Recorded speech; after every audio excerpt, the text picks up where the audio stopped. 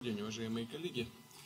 Э, Прошу доложить ситуацию, которая складывается в Курской области по линии ваших ведомств. Начальник генерального штаба находится сейчас на одном из э, пунктов оперативного управления, доложит о видеосвязи, а затем Сергей Кужегидович расскажет о результатах своей поездки в Иран и в Азербайджан. Пожалуйста, Валерий Алексеевич.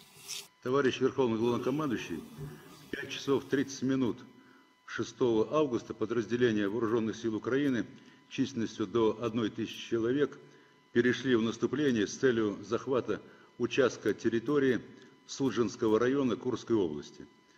Действиями подразделений прикрытия государственной границы совместно с пограничниками и подразделениями усиления, ударами авиации, ракетных войск и огнем артиллерии продвижение противника вглубь территории на Курском направлении остановлено.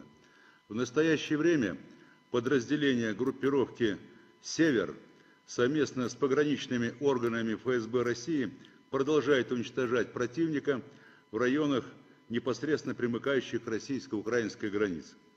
Потери противника составили 315 человек, в том числе не менее 100 убитыми и 215 человек ранеными.